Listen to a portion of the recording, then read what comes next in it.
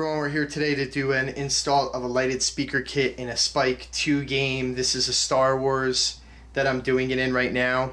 And in the kit, you know, you get the usual uh, items that usually get in a, a, lighted speaker kit. But he produced a new bracket now for the lighted speakers for uh, a Spike 2 game. And it's like this square type of mount now with LEDs that run around the sides the of the actual kit. And there's one side that you have to do, you have to do these the proper way to install them. There's holes on one side here, if you could, you know, and in the bracket, and that actually screws into the color display here. So you kind of have to mount the kit. There's a um, a top and a bottom to this kit. So I believe they go up like that, and there it's like sunken in on this side and that's the way it goes. And one of the sides is magnetic, so the actual uh, LEDs come off the metal bracket. I think it's this side. So you could screw in the screws to the display, the color display. So what you need to do to put this bracket in, and again, the mount, the, the connector here goes down, so it would be coming off of the bottom corner here. I already did the other side on the, um, the kit, but the actual mount or the or I'm sorry the uh, the connector goes at the the bottom or the top I guess of the display however you're looking at it. So we'll just leave that on the side. So to start what we need to do is take off these four screws that hold the speaker panel in right now.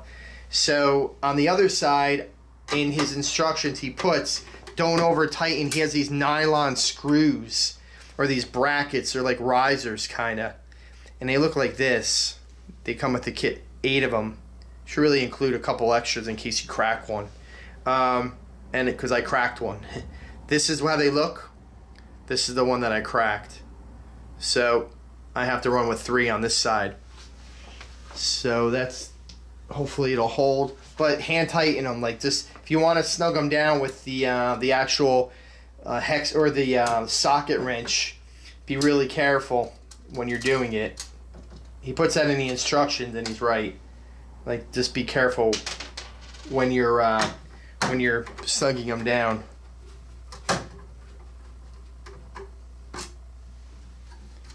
So we're just taking these four screws off or nuts off the speaker panel right now.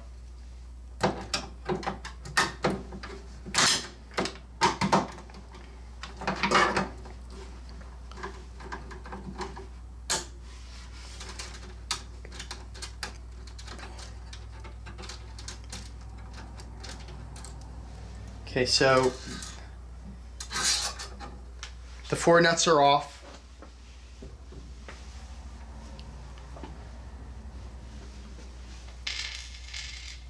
And now what you want to do is get a smaller screwdriver and there's two screws on the side here of your metal uh, bracket that hold your speaker in on the stock stern um, speaker holder here.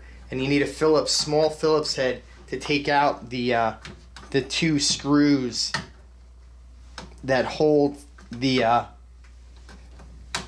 color display in place. And whoever tightened these down did a nice job tightening them down. So, you know, don't strip out the screw. Give it a lot of a lot of pressure to try to get in there and take that screw out.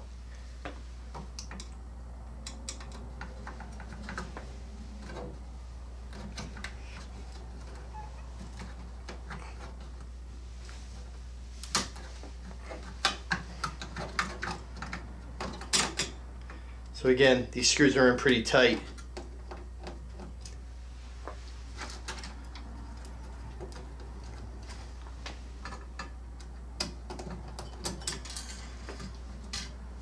Okay, so those two screws are out. And then what you want to do is just lift this out, put it on the side over here. Now there's a, a piece of foam under here. You want to maybe take that out to get the the uh, more of the, the LED display to come through.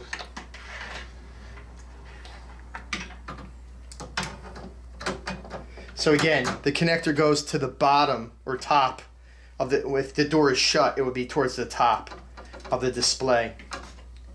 So there's four holes that you gotta align with the mount and put it in that way. And then you take your nylon um, extenders that came with the kit and then you screw them into the studs that are coming through the actual um, display panel.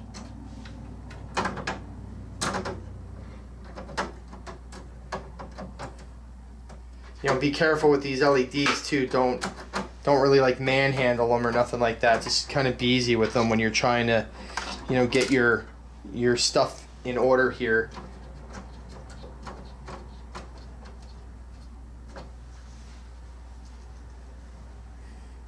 So again, I only have three to put on.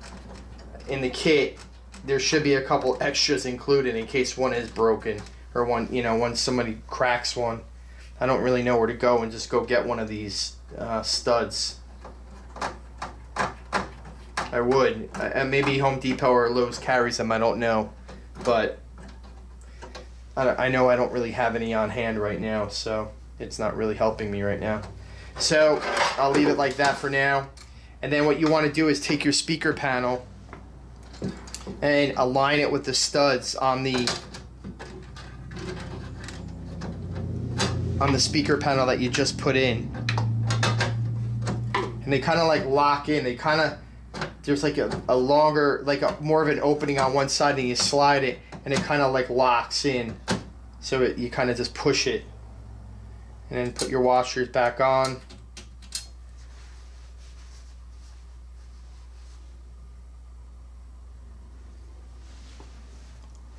Oh, you know what I forgot to do? I forgot to screw in the uh, the two screws again for the uh, the color DMD here or the display color display. So you remove your magnet magnet side from that and then take your screws again and line up your holes with the display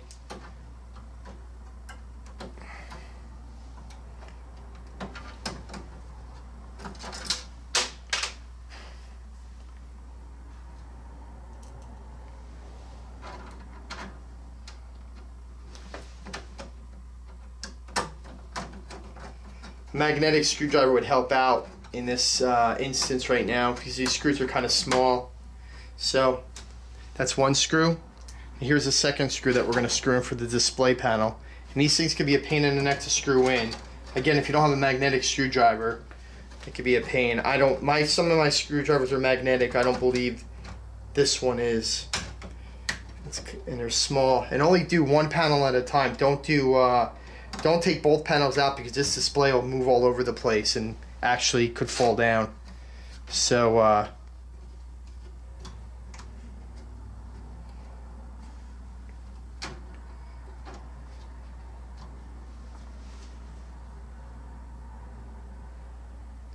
that's not right.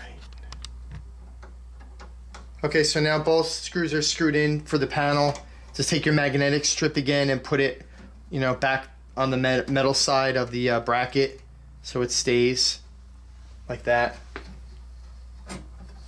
So now you got your uh, your your extenders here, and you have your panel screwed in, and you have your um, LED back magnetic magnetically clinging to the side of the metal again.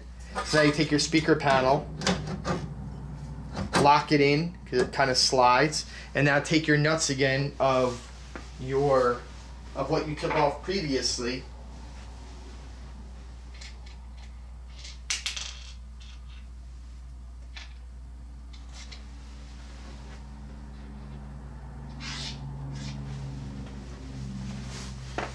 And then just, you know, put everything down. Remember to put your uh, pulley back on, you know, your thing so it kind of grabs the, the panel. Me put this washer down first. Um, so again, just hand tighten these nuts. Don't uh, don't overly tighten them because again, you could crack them. You crack the studs. That is.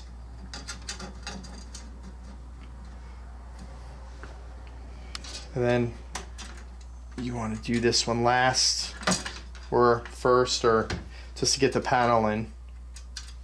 We have that.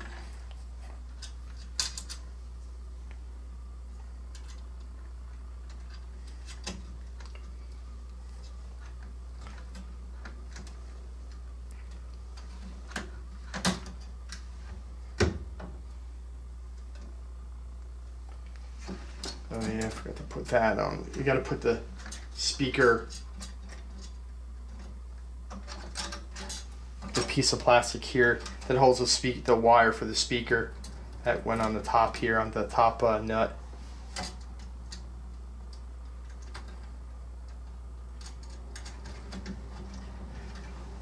My arm's probably in the way.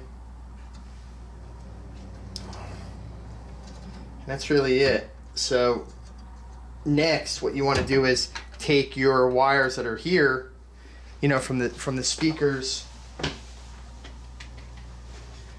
and take the rest of your kit of what you have.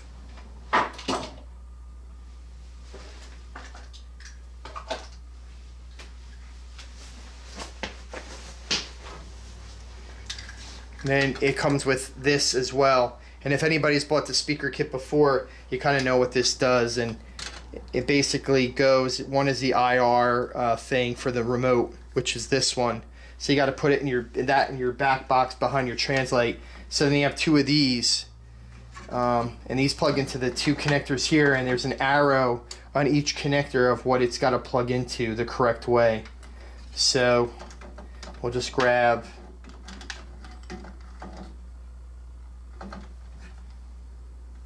the male to male so it's got to be this one because the two arrows line up. Again, you might want to put a piece of tape or something on those connectors. Sometimes they pop off unexpectedly. Uh, again, and we just take the two arrows here and if I could get the pins inside each other.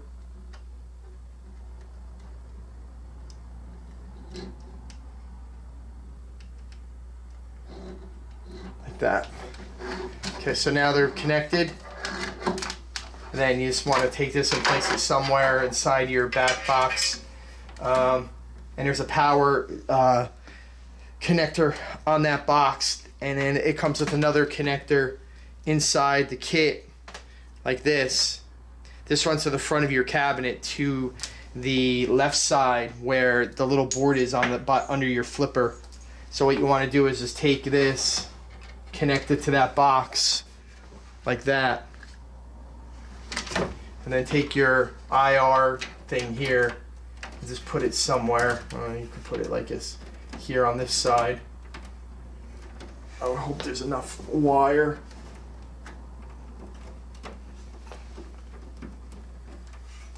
And then drop this cable that comes off the power box for the uh, the speaker kit down the hole in your back box here on the left hand side to the cabinet and then we're going to run that to the front of the cabinet. Okay, so I ran the cable to the front of the cabinet and now in the kit it comes with this kind of connector here and it's a um, trying to wait for the camera to get in focus. Um, it's a connector that goes from the board to the cable. So it looks something like that. So this goes into DBN9, which is over here. There's another name, I think it's like D... DBA or something like that, I believe it is as well. So basically the one end could only go one way into the um, into the connector so it's notched. So I believe it goes this way, like that. And then the other end plugs into the cable that I ran to the front of the uh, the pinball machine, which is here. And that's what comes from the power supply that we, we ran in the back of the, uh, into the uh, back box into that little uh, plug that has the IR connector to it. So you just plug those two in like that. And I kind of ran them through the uh, wire ties, the wire management system inside the cabinet so everything's out of, uh, you know, out of harm's way of getting snagged on anything or anything like that. So just kind of tucking on the side here and trying to find the opening of the connector, which is on the other side. And that's that. So that's really it with the install. You know, you want to do it to the other side of the speaker, but I already did mine. But it's you just kind of follow the same pattern for each side. So um, let's go and take a look at the speakers and see how they look. Okay, so here we are with the kit installed and the speakers lit, uh, lighted up. So you can see it's kind of going into its demo mode with all the colors that are available for the speakers. Um, I took the actual, like the grills out. I guess you could leave them in if you wanted to, but I kind of like the look without them out. It looks pretty cool. It looks a little more like, you know, like like rough, you know, without the, the grills inside, the little foam pieces. So I'm to change mine to blue.